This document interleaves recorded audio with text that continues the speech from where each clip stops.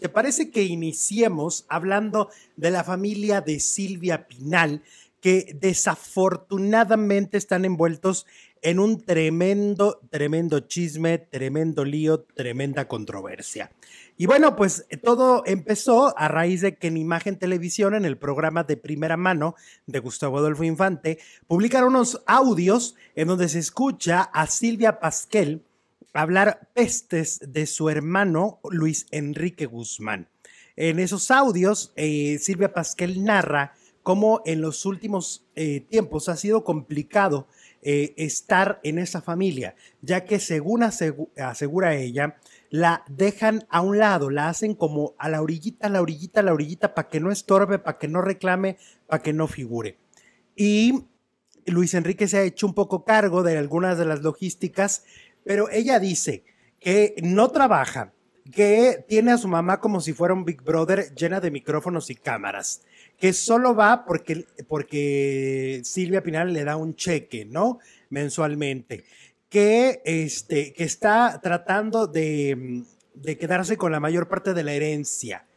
Que, ¿Qué más dijo? Bueno, ¿qué no dijo, verdad, Silvia Pascal? Dijo muchas cosas, que es un mantenido, ¿no? Es, No es el único, bueno, es el único mantenido de la familia y es el único que podría estar atento a ella y aún así no lo hace porque se la lleva quién sabe dónde. Porque según Silvia Pascal no trabaja, pero tampoco está pues al pendiente de su mamá, ¿no? De doña Silvia. Entonces, bueno, se le fue a la yugular, qué rápido se acabó el cuento. ¿Te acuerdas que hace como unas dos, tres semanas salieron en el Ola toda la familia así, feliz y sonriente con doña Silvia Pinal? Y parecía como que era la reconciliación, ¿no? Después de tantos dimes y diretes, y bueno, pues ahora las declaraciones que dio eh, Silvia Pasquel, pues le dan en la torre a toda esa imagen de la familia feliz. Pues mira, aquí hay, aquí hay varias cosas. Miren, en las últimas semanas hemos hablado mucho de problemas familiares y hay gente que se sorprende y hay gente que dice que no, no, esto no es posible, ¿cómo es? ¿Qué va a pasar? Y entonces en este caso, en el caso de, de, la familia Pinal, pues ¿quién apostaría a lo que está sucediendo con estos audios? Le voy a decir, hace cuántas semanas Silvia Pasquel no lloró diciendo somos una familia muy bonita, nos Ustedes los medios tienen la culpa, dijo, ¿no? sí, ¿te acuerdas? Decía, todos los medios, nosotros nos queremos. Decía, gritaba, nosotros nos queremos. No nos traten de inventar chismes. Y estos audios cambian por completo la historia, porque aquí entonces nos estamos dando cuenta que Silvia Pasquel, este, efectivamente aborrece a su hermano, ¿no? Y no, y, habrá que ver qué es lo que dicen ellos de ella, porque aquí hay una versión. Y habrá que ver qué, qué, qué, otras cosas tan fuertes dice, porque Gustavo Adolfo Infante dijo que hay otros audios que no los va a mostrar porque pues, están mucho más fuertes. Imagínate, ¿qué puede ser más fuerte de decirle mantenido, que quiere la herencia, que hace ta, ta, ta, ta? A lo mejor de Alejandra puede ser. ¡Ay, no! Pues ahí está tremendo, ahí está tremendo. ¿Qué dirán esos audios que no se han querido mostrar y que dicen están mucho más fuertes que los que ayer escuchamos? Ahora, ¿quién habrá violado la privacidad de, de Silvia? ¿Quién la habrá grabado? ¿Quién fue esa persona de su confianza? Porque tienes que tener mucha confianza para hablar con alguien así de tu familia, ¿no? Tiene que ser alguien que es tu gran amigo o tu familiar. Pues para que el mismo Luz Enrique, ¿no? No dice la Pasquel que tiene cámaras y micrófonos por toda la casa. En una de esas también se la extendió a la casa de ella. A ver, aquí hay una parte de la historia que yo ayer estuve indagando con gente que conoce a la familia. Y entonces a mí me platicaron que efectivamente Luis Enrique es otro desde unos años para acá. Antes era muy tranquilo, era una, una persona bastante agradable, era una persona que sí se veía que quería a su mamá, pero de unos años para acá sí cambió mucho, es lo que me dicen. Que la gente que lo rodea y que rodea a la familia Pinal sí lo ha comentado. Ay, ¿por qué ha cambiado tanto Luis Enrique? Ya no es el mismo, Quiquito. Pues no, Quiquito ya no es el mismo. ¿Y qué me dicen a mí? Que aquí en esta parte de esta historia falta una pieza del rompecabezas muy importante. Y es Efigenia, la asistente de Silvia Pinal. Porque según lo que a mí me dicen, ella también fue sospechosa en aquel momento cuando corrieron a la empleada doméstica y corrieron al chofer. Eh, también, de hecho, dicen que las cámaras las pusieron por Efigenia. ¿Vale? porque la querían descubrir. Las malas lenguas, esto no lo han dicho en ningún espacio, pero pues aquí, acuérdense que se dice todo. Las malas lenguas que rodean a la familia Pinal, o buenas lenguas porque quieren su bienestar, aseguran que tal vez Luis Enrique hizo un pacto con Efigenia. Y que entonces para poder tener acceso a todo lo que económicamente le llega a doña Silvia, desde sus propiedades, pero las rentas, pero la exclusividad de Televisa, pero aquello, pero esto. Entonces tal vez la pieza que le está faltando a Silvia Pasquel es Efigenia. O sea, tal vez Efigenia es quien ha sido la cómplice de Luis Enrique en todo este proceso. Eso no sé si a Silvia le queda claro, pero pues aquí se los decimos. Es la pieza del rompecabezas que está faltando para saber por qué tienen el control absoluto de doña Silvia Pinal. Pues sí, aparte la edad, ¿no? De la edad esa edad ya, pues, ya no se entera de muchas cosas, ¿no? Y con los problemas de salud que dicen que tiene la señora, pues menos. Pues yo creo que a partir de ahí se aprovecharon, ¿no? Dijeron de aquí, porque ya ella no, ya no tiene el control de su, de su economía, de todo, ¿no? ya no le interesa, ¿no? Pues ella con pues estar bien, que su hijo esté bien, ¿no? Pues Exactamente. Entonces, así está la historia de esta cuestión de la familia de Silvia Pinal. Tenemos una encuesta. Y la encuesta dice, ¿crees que habrá pleito por la herencia de Silvia Pinal? Bueno, 95% dice que, ¿qué preguntas son esas? 95. ¿Cómo se te ocurre? Claro que va a haber pleito. Virgen y pues el 5% restante tiene fe en que no pase nada, que demuestren que son una familia civilizada, lo que tanto quiere doña Silvia, ¿no? Han pasado 20, casi 24 horas de que esto se publica, porque fue en el programa de primera mano. Y después de casi 24 horas, Silvia Pasquel no ha dado una respuesta. Eh, yo enteré a su Twitter y no ha dado una respuesta. De hecho, de sus últimas publicaciones que tiene son en contra de Gustavo Adolfo Infante, aquella carta que Sergio Mayer firma, ¿te acuerdas? Sí, claro. Ella también la postea porque aseguraba que Gustavo Adolfo Infante había intentado destruir a su familia. Este, yo creo que no se puede destruir lo que ya se destruyó desde el interior. No necesitan ayuda, ¿no? No necesitan ayuda. Ellos solos se están sacando los ojos, ellos solos han dejado ver a la opinión pública que no es una familia evidentemente perfecta, porque no la hay, ¿eh? No la hay. Pero ellos son públicos, entonces, y además también han formado parte, o sea, también han sacado provecho el ser una dinastía, ¿no?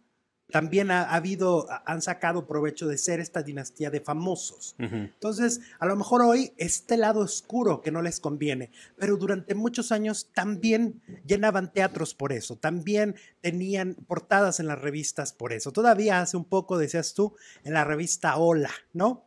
Este, entonces también han sacado provecho de ser una dinastía, de que cada pieza de la familia ha hecho lo suyo. Entonces, pero cada pieza de la familia trabaja y el, según la versión de Silvia Pinal, pues el único que no hace nada, Silvia Pasquel, es Luis Enrique Guzmán. Sí, y hasta las chiquillas. Hasta las más chiquitas, ¿no? Todos trabajan. Pues es que, digo, no lo justifico, pero qué complicado debe ser Luis, ser Luis Enrique Guzmán. Hijo de Silvia Pinal e hijo de Enrique Guzmán, la leyenda del rock and roll y la última diva de México. Sí, debe ser difícil ¿cómo llenar tener esas dos sombras, ¿no? Porque, porque aparte se cree que la siguiente generación tendría que ser mejor. Superar lo que hicieron. Superar, ¿no? Y, y, cuando la vida te va indicando, porque además no es la única persona que no tiene un rumbo fijo, es decir, hay mucha gente que lleva años intentando un negocio pero otro y no saben, no, no tuvieron a lo mejor una vocación tan clara, ¿no? Para inclinarse para allá. Entonces, como que ha picado aquí, ha picado allá, pero que le pongo una pizzería, pero que le pongo aquello, y nada le ha pegado, ¿no? Entonces, resulta ser e, ese, ese, eh, pues resulta ser el nini de la familia, ¿no? Lo que dijo Laura Zapata. Ándale. Ay, que no lo vea Laura Zapata porque le va a decir lo mismo. No, Laura, espérate. Deja que con Silvia Pasquel tiene para que le diga sus cosas. No, yo creo que la, Zapata se lleva. Oye, que van a hacer gira, ¿no? A, paréntesis, van a hacer gira de Oti. Entonces ya está el cartel ahí, como el otro tributo al Oti se llama, y está Laura Zapata, sí, en primer lugar. Yo no recuerdo a Laura Zapata tan figura de Loti, pero en el cartel está así. Ajá, primera, primera plana. Carlos Cuevas, María del Sol, mm. eh, Cristal. Ah. Eh, Benito Castro, que bueno, por los hermanos Castro, ¿no? Entonces está padre, está padre para todas aquellas Todos menos Laura está que les gusta, tú no Laura, que les gusta la nostalgia del Festival OTI donde salieron grandes voces, ¿no? Oye, está padre que se entonces, Como lo que hizo Yuri, ¿no? Que hizo dos discos, ¿no? Mi tributo al festival, pero estas son presentaciones. Wow, entonces por eso María del Sol dejó grandiosas. Era su proyecto. A lo mejor que traía. Este su proyecto. ¿Te acuerdas que dijo traigo un proyecto, traigo planes? O ya lo dejó. Ah, mira, pues está interesante. Para los que, los que les gusta esta música, que además, bueno, Carlos Cuevas, gran voz, María también, ¿no? Son los que, son grandes cantantes. Sí, mira, a ver si lo encuentro para decirles exactamente quiénes están. Oigan, y estamos en vivo a través de Facebook Watch, estamos en vivo a través de YouTube. Está tremendo el chisme de hoy, así que no le cambien, no se me desconecten, que esto va a arder. Ahí está, mira, 50 aniversario festival y tienen fechas en el auditorio, ¿eh? En el Auditorio Nacional. Está Carlos Cuevas, Laura Zapata, María del Sol, Jorge Muñiz, Rocío Banquels, Enrique Guzmán, eh, y los demás, Cristal. Oye, pero la Zapata nunca ha figurado como cantante. Por, eso se me hace tan raro que, que esté los demás como que la estrella del festival. Pero los demás sí, los demás sí son ganadores. Y los demás, pues no te los no te los reconozco porque. Suavemente. Suavemente. No, Cristal sí, obviamente Cristal, pues es de las. Cristal, tú dices Cristal y inmediatamente Festival Oti. Inmediatamente Sergio Andrade. ¿No? Inmediatamente Gloria Trevi. No, ya Pati Chapoy. Es que fue antes de Gloria Trevi de Pati Chapoy. Sí, era cuando, cuando no estaba tan. Y también le tocó su, su maltratada, ¿no? Sí, también. Sí, también. Pero no, estaba tan, de la no estaba tan enfermo Sergio Andrade. Sergio Andrade, sí, así se llama. Eh, ya cuando ya estaba en el clan de la Trevi Andrade, pues ahí ya, bueno, ya. Ahí ya se puso. Son palabras mayores, ¿no? Bueno, ahí está el anuncio para los que les gusta el festival. El Festival Loti. Hablando de eh, la dinastía Pinal, pues Alejandra Guzmán se cayó el día de ayer, esto en un concierto en Washington en un teatro, estaba cantando, iba como en la tercera canción, una cosa así. Estaba muy contenta, se veía muy feliz cantando, se veía además muy guapa, traía como un saco, ¿no? Este masculino, que seguramente, bueno, se usa como para el hombre, pero se lo puso y se veía increíble, estaba en su momentazo, ¿no? Cantando con una super orquesta, sonaba muy pro, muy todo, muy, muy, muy chilo todo, todo estaba perfecto y de repente hay un movimiento ahí de sus piernas y que se cayó. Como que la pierna le falló, ¿no? Como que No le respondió. no le respondió la, pierna, quién sabe qué pasó ahí. Como un estirón, ¿no? Como que le dio un estirón. Sí, ándale. Ajá, y entonces cae. Eh, hay un video donde, pues, mira, ya lo hemos hablado, el ser humano siempre, casi, casi siempre cuando alguien se cae, te ríes. Hubo risas ahí. Hubo risas. O sea, alguien se, cayó y dijeron, ja, Y luego cuando dijeron, ah, caray, esto no está tan. Pero es que es automática la risa. Yo se reía. Sí, es, también me reí. Es parte del ser humano. ya después de que ya lo vi, dije, ay, sí, sí, sí, le dolió. Sí, porque no tienes la conciencia todavía de que eso va a poder llegar a mayor. Porque es Alejandra Guzmán. Entonces. Que es, es, que no nos ponemos en el lugar, obviamente son segundos, fracciones de segundo, del que se está cayendo, ¿no? No, pero aparte es Alejandra Guzmán. Es decir ella no puede caerse porque tiene serios problemas en su cuerpo desde hace muchos años, ¿no? Tiene muchas cirugías, tiene una prótesis de titanio, es decir, todo esto se complica. Y entonces se cae, el, el, como el director musical se acerca a ella a quererla levantar y ella le dice que no puede levantarse, ¿no? Ella le está diciendo que no se puede levantar porque si hubiera podido, Alejandra Guzmán se levanta y sigue cantando pero no podía levantarse. No, pues, Entonces, no dijo que en la gira cantó con dolores y con uñas enterradas y con, con todo. uñas y bueno, el de los pies, ¿no? Claro. Y entonces eh, en eso ya se le acerca más staff de la producción y posteriormente llaman a la ambulancia para que ella sea trasladada. Hoy en la mañana, hace cuestión de, no sé, yo creo que en menos de media hora, nos llegó a todos un audio de Alejandra Guzmán, ¿no? Nos llega un audio de Alejandra Guzmán hablando del tema este, y diciéndonos exactamente cómo se siente y qué está pasando con ella. Vamos a escuchar este audio después de esta caída de Alejandra Guzmán. Esto es lo que ella dice a la prensa mexicana e internacional. Hola a todos mis amigos. Gracias por preocuparse por mí y por mandarme tantas bendiciones. Realmente estoy bien. Lo que pasó fue que se me dislocó mi cadera derecha. Eh, tengo dos prótesis y pues a veces puede pasar. Nunca me había pasado, pero en el Kennedy Center me pasó. Quiero que se dejen de preocupar, que sepan que estoy bien, que voy pronto a mi casita y que los quiero mucho y que va a haber mucho rock and roll y no hay fractura. Gracias a Dios. Besos. Ahí está la reina del rock mexicano, Alejandra Guzmán. Es un audio de hace 30 minutos que nos llegó a muchos al WhatsApp por parte de su RP, que está diciendo claramente Alejandra de propia voz, para que ahora sí que los rumores, fíjate qué diferente, en este caso, sí le quiero yo aplaudir a su RP, qué diferente porque está frenando los chismes. ¿Qué hubiera sido si Derbez hace dos semanas hubiera sacado este audio y se hubieran frenado tantas cosas, ¿no? Pero pues no lo hizo. Entonces el caso de Alejandra lo está haciendo a tiempo, unas cuantas horas nos está diciendo, así está el asunto. Bueno. Bueno, no se preocupen, ahora volvemos con Luis Enrique. volvemos con Luis Enrique, que es un ebón. Tú sí, Luis Enrique. Sí, se cayó muy raro. Es que luego las caídas que son tan así, tan que dices, ay, no pasó nada, son las más graves. A mí me ha pasado, ¿eh? Claro. En el gimnasio, así que un movimientito en falso y Ups. No, ¿y cuánta cirugía lleva esta mujer? Esta mujer de verdad ha pasado por los hospitales muchísimo, muchísimo en los últimos 12 años de su vida. Entonces, pues Alejandra Guzmán, te deseamos una pronta, pronta recuperación. Qué bien manejaste, eh, manejaste en este momento, manejaste, manejaste en este momento la situación. Creo que está muy bien lo que hiciste y creo que es lo correcto. Pero bueno, Mira, el Charlie Mapachito tiene razón, dice por primera vez, eh, dice que a lo mejor se le hace a Laura. No, se le va a hacer estar en el auditorio. Ajá. Imagínate. Por primera vez Laura Zapata en el Auditorio Nacional. Bueno, con un montón más. Pero todos con la pregunta, ¿cómo por? Como por, como por, mira lo que puso en su Twitter, dice, vamos a jugar a quién reconoces. Bueno, ya les dije más o menos quiénes están ahí. Hoy firmo contrato, iré subiendo fechas y lugares a donde nos presentaremos a cantar, se ha dicho, y a recordar el Festival OTI, ¿cómo no? Órale. Pues es que del Festival OTI, OTI los demás... Oti, Oti. Elote. Del Festival Elote. del Festival OTI, muchos estuvieron, pero son muy famosos y no van a compartir el escenario. Entiéndase. Lupita D'Alessio, Yuri, Napoleón, Emanuel. No, Napoleón, a ver, Napoleón no está. No, sí están. Ah, no. No, no está. No, no estaba. No. Entonces ellos cantan solos. Ellos cantan solos. Ana Gabriel. Ah, pues que va a venir a compartir con Laura Zapata. Ajá. tres. Sí, no, no. No, no, no, no.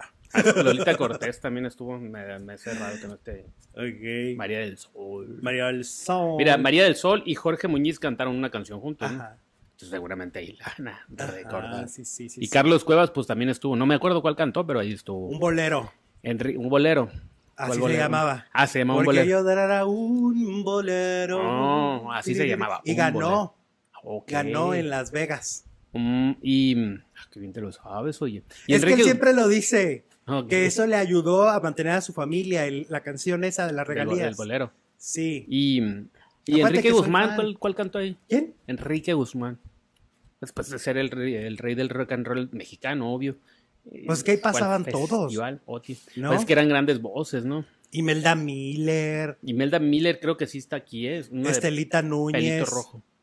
Y un grupo, bueno, es que lo veo muy chiquito y aparte no traigo mis lentes buenos. Ahí mañana los desmenuzamos. ¿Qué les parece? Oye, vamos con eh, Cristian de la Fuente. Fíjate que Primer Impacto, este programa de Univisión, saca unas imágenes de Cristian de la Fuente en un antro, en un restaurante. Y está con una mujer, besuqueándose feliz de la vida. Pero sí que, pero que súbele, pero que bájale, pero que métele, pero que así todo. Todo eso en un solo video. En un solo video. Beso y beso y beso. Hecho a papacho. Ajá. Y en la fuente. no, en la frente no. Entonces todo el mundo se pregunta, ¿y la esposa, pa? Oh, caray, no era la esposa. No era la esposa. Andaba también Juan Soler ahí. Ah, Como que son amiguis. Juan Soler, el, el, ¿cómo se dice? El tapadera. El tapadera, todo el mundo tiene un tapadera. Y entonces ya fueron a preguntarle, ya le andaban este mandando mensajitos y dijo, cometí un error, reconoce. Una mujer se me acercó, me dio un beso y no la paré.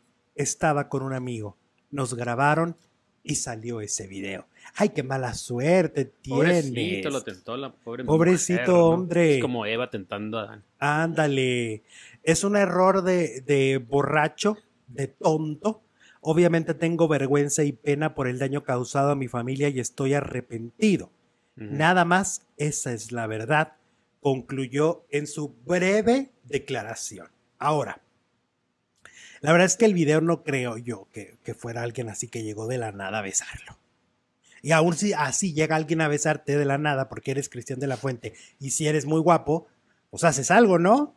O sea, dices, oye, tranquila. I'm married. O sea, Espérate, morra. Espérate, morra. No, no, no. No es el momento, ¿no?